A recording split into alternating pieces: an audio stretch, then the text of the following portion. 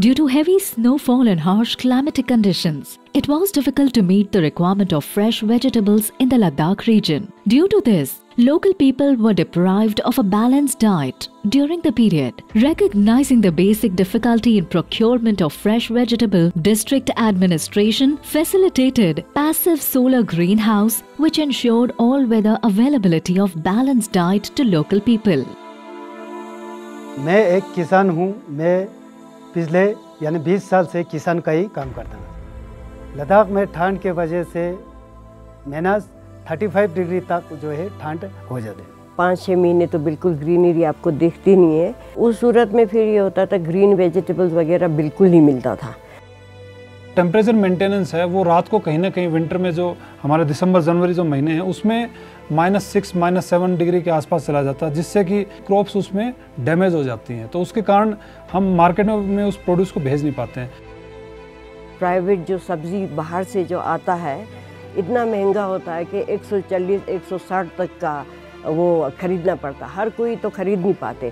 दूसरा तो मिलता भी नहीं लाइन में लगना पड़ता था। फिर जो अवेलेबल होगा, वही खा के रहते हैं तो बैलेंस डाइट नहीं मिलता था। डीआरडीओ ने इसमें रिसर्च किया है कोई सात साल के करीब रिसर्च किया इसके प्रोजेक्ट के ऊपर। और फिर जब डिपार्टमेंट के साथ में टेक्नोलॉजी को शेयर किया गया तो डिपार्टमेंट और डीआरडीओ ने मिलकर इसका एक्शन प्लान बनाया। ये इनिशिएटिव जो Ladakh autonomous health development council है उसके द्वारा शुरू किया गया था। इसका मकसद ये है कि जैसे सिक्किम और बाकी कुछ एरियाज़ ऑर्गेनिक के ऊपर काम कर रहे हैं, उसी तरह लद्दाख को भी एक ऑर्गेनिक उसमें रीजन में कन्वर्ट करना।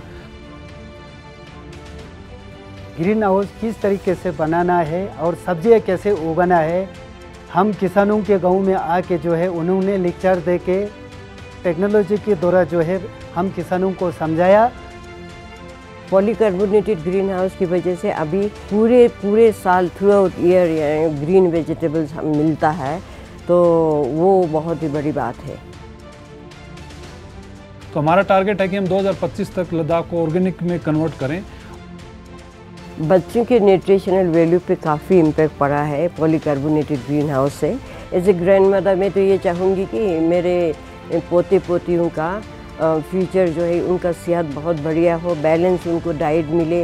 With the help of D R D O's defensive institute of high altitude research the country made the country whole by setting up passive solar greenhouses for six with the help of this technology 315 solar greenhouses were established, which produced more than 206 tons of green energy.